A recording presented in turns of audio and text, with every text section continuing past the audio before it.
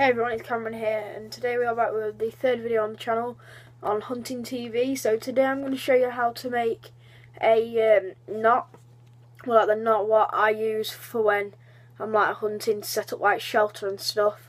So I'm not using paracord because paracord's pretty pricey. So I've got a piece of old rope. So we cut it to length.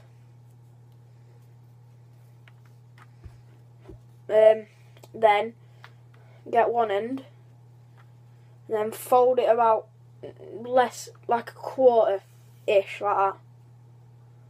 And then at the end of it, just do like a normal tie. Hopefully this one will work. I haven't tried it yet. And you need a bit of this so it can actually go under. So like you're tying the first part of a shoelace.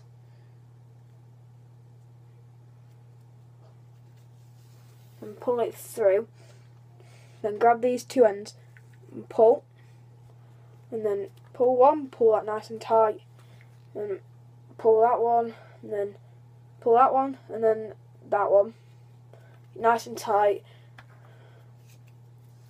And then it's not coming undone. And as you pull on it, it start to get fairly tighter.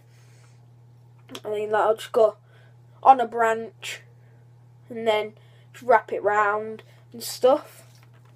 So then I want you to hook it to you so you've got a tarpaulin. So hook that in a hoop. So wrap it round your fingers two times.